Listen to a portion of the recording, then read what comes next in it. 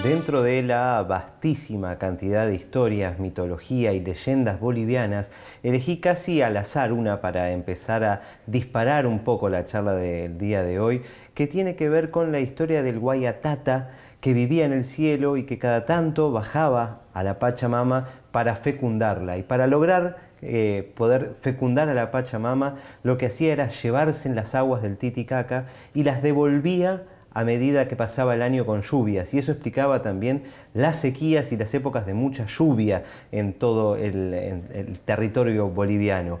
Digo una de tantas porque Carlos, quien nos recibe aquí, la cultura, la mitología y todas las historias que hay en, detrás de Bolivia es quizás incalculable, ¿no es cierto? Sí, ciertamente en cuanto a, mitos y leyendas, la cultura es... Eh, muy extensa, muy variada, siempre de acuerdo a las regiones de Bolivia, ¿no? Yo te digo Carlos, te digo Cacho, pero en realidad vos no te llamás así. Esta fue una forma fácil que encontramos para que yo pudiera presentarte. Yo decía, ¿cómo hago para corregirme? sí, mi, mi, nombre es Adalid. ¿Cómo es? Adalid. ¿Y qué significa? Es un nombre que eh, significa caudillo, líder, ideal, en fin, una cosa así. Pero fácilmente dijimos, bueno, vamos a hacer cacho por, estas horas. Este, así me conocen en, en Sí, porque si no tengo que estar sacando la, cédula, mostrando y explicando el, nombre. Y decíamos sí que en cuanto a la mitología y las tradiciones y las leyendas de Bolivia es muy rico de acuerdo a las regiones de Bolivia. ¿no? En Bolivia tenemos tres regiones, eh, zona de cordillera y altiplano, zona de, los valles y la zona selvática, frontera con Brasil y, ¿Vos de dónde sos? Yo soy de la zona de el cordillerana y altiplano. Así. Y mucho he vivido mi niñez eh, también en la zona de los yungas, que es selva de montaña la selva amazónica. Ahí. Entonces, esto que tú decías de esta, de esta leyenda, ciertamente de este mito, ¿no? Es eso, un mito para explicar eh, desde la cultura aymara quechua, para explicar los fenómenos de la naturaleza, ¿no? Y es muy, es muy rico en cuanto a simbología y, y demás. Así que por eso es que todo el, el año de, de una comunidad está basado en, todo esto que tiene que ver con la climatología, porque eh, una cultura eh, de agricultores y demás, ¿no? Tiene que estar ciertamente contemplando esa, todos esos movimientos climáticos y todo eso que se explican desde esto que tú dices, ¿no? Que el Guairatata, el, el, Padre Viento, ¿no? Y la Pachamama, que nos da los frutos, la hermana madre tierra y, el lago sagrado Titicaca. Entonces tiene toda una, eh, una simbología eh, de vida. ¿Quién es esta persona de acá? Bueno, acá estoy en el... No, pero ¿cómo ah, estoy? ¿Este sos vos? Este soy yo. Sí, sí, Pero te falta un kilo de barba en esta foto. Me falta total. Acá, ¿es tu mujer? Es en Huaki, ahí está mi señora. Huaki es un pueblo del altiplano boliviano, antiquísimo, donde está. el santuario del apóstol Santiago. Y ahí en Huaki entonces se celebra cada 25 de julio una fiesta muy hermosa para el apóstol Santiago, en homenaje a él. La fiesta siempre con mucho color, eh, vestimenta típica, danza, música, típica, la danza propia de Huaki es la danza de la morenada, y, y, aquí con las vestimentas típicas de los varones que son dirigentes de las comunidades indígenas, porque el pueblo de Huaki tiene varias comunidades indígenas y cada uno de, de estos eh, personajes llamados malcus. Malcus eh, significa cóndor. La morenada es una danza muy propia del altiplano boliviano y es que los lugareños, siendo de origen aymara quechua, adoptaron de algún modo la, mm, la idiosincrasia de los esclavos negros traídos eh, vía Buenos Aires, ¿no? Eh, llegaban al puerto de Buenos Aires y los negros eran llevados caminando hacia las eh, minas del Gran Potosí para trabajar allá. Y en el trayecto, evidentemente, caminando y en esas alturas, más de 4.000 metros sobre el, sobre el nivel del mar y demás, les faltaba el aire y todo eso. Entonces los indígenas, para representar esa situación real de los, eh, de los negros esclavos, eh, hicieron estas máscaras. No sé si se nota ahí. en esta sí, en esta sí. Ahí está una cabeza de, de negro con los ojos desorbitados por la falta de oxígeno y la lengua eh, bien afuera, ¿no? Por, por, el cansancio y demás. Entonces, y, y la danza propia del, de la morenada es un paso así cansino, va para un lado, va para el otro, ¿no? Este movimiento, porque es como que están arrastrando las cadenas, ¿no? Con las que los engrillaban a los negros. esa, esa, cadena y ese esfuerzo con la fiesta mezclado. Sí, sí. Con la celebración, pese a todo. Sí, sí, se traduce. Es de algún modo, las fiestas en Bolivia son de algún modo fiestas de liberación. Contame de vos, contame eh, dónde naciste y en qué momento llegaste a la Argentina. Bueno, yo nací en La Paz, Bolivia, en una ciudad muy, muy hermosa, muy linda, en 1955.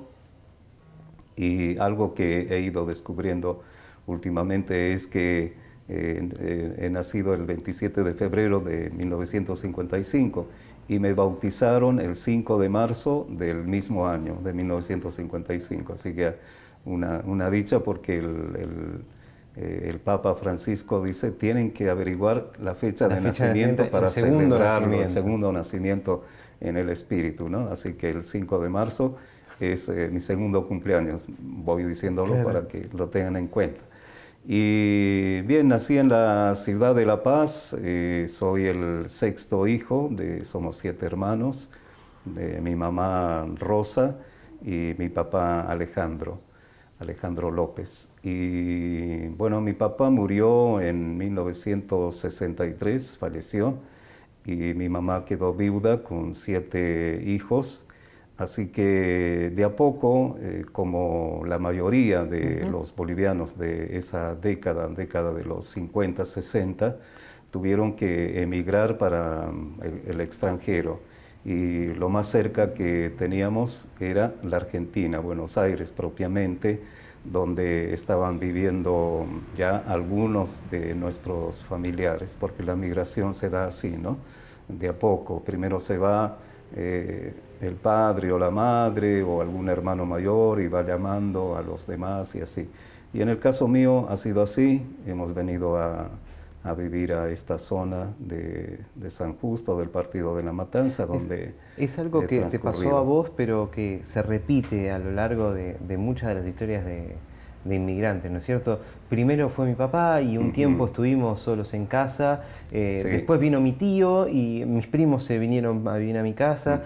Y fueron probando y fueron viendo que había trabajo, entonces nos iban llamando, digamos, esta idea de que es en realidad eh, ese viaje no es directamente, bueno, voy a poner las cosas en la valija y me voy mañana para Buenos Aires, sino que es una prueba de que quizás lleva años para toda una familia. Sí, ciertamente, para toda una familia lleva años y ha sido el caso nuestro, ¿no? También de mis hermanos mayores fueron los primeros que emigraron y hasta conseguir trabajo, vivieron, en fin, con algunos de mis tíos o alquilando de repente por ahí, ¿no?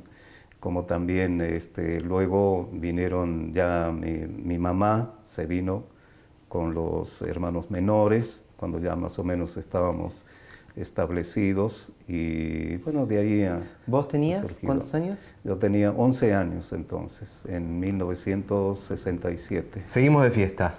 Paseña. Paseña, esa es mi señora de chola, vestida de chola con la vestimenta típica en una de las fiestas de Huaki, porque ella cada año va a bailar la morenada allá, ¿no? Mientras yo me quedo trabajando aquí, porque es en el mes de julio donde hay más trabajo. ¿Qué tenemos acá? esto es en Bolivia, el ambiente en el que yo me he criado de, de niño, ¿no?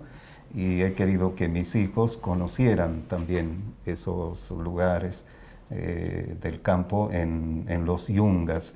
Eh, hemos hablado del altiplano boliviano, también tenemos que hablar de los yungas, que son zonas eh, de mm, selva amazónica, y entonces caluroso y demás, y donde se da la hoja de coca, la más deliciosa hoja de coca que se da en los yungas de Bolivia, ¿no? en La Paz, así. ¿Y te acordás de ese viaje?